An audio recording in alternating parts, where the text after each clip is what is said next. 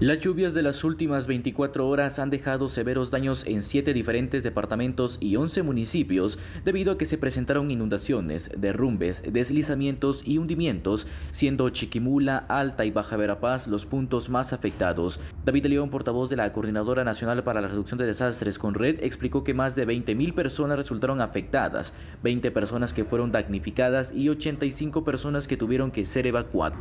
Estamos hablando de Chiquimula, Baja Verapaz, Alta Verapaz, Guatemala, Retaruleu, Suchitepeques, San Marcos, que han registrado entre derrumbes, deslizamientos, hundimientos, inundaciones, problemas de fuertes vientos, que hasta el momento se eh, cuantifican más de 20 mil personas que han resultado afectadas, 85 personas que ha sido necesario realizar procesos de evacuación, también dos personas fallecidas en las últimas 24 horas y 20 viviendas con daños eh, debido a las inundaciones principalmente. Tenemos eh, uno de los incidentes que se ha reportado y que los cuerpos de socorro continúan realizando eh, diferentes acciones en el sector, es en aldea Cepacay de Tucurú, en Alta Verapaz, en donde una de las una persona se reporta como fallecida, sin embargo, habrá que esperar eh, la verificación y la información desde el territorio para identificar